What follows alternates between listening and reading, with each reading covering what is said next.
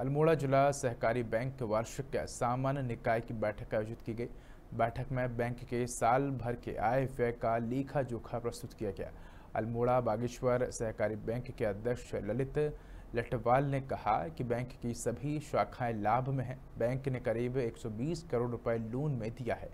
इसके ब्याज से वेतन और अन्य खर्चा निकल जाएगा। बैंक अध्यक्ष ने कहा कि बेरोजगार लोगों के लिए योजनाएँ लाने के लिए बैंक काम करेगा। केंद्र और राज्य की सरकार के सहयोग से बैंक का प्रॉफिट लगातार आगे बढ़ रहा है। अल्मोड़ा से नसीम अहमद की रिपोर्ट।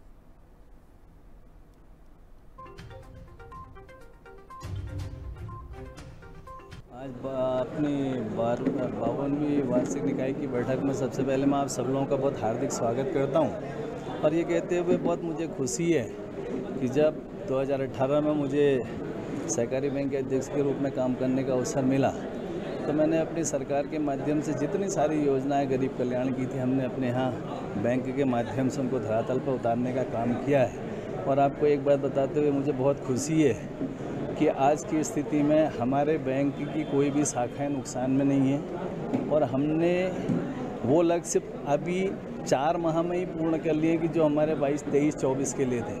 हमने के आर के माध्यम से आज की तारीख में भी हमारा 120 करोड़ रुपया लोन में लगा हुआ है कि जिसके ब्याज से ही हम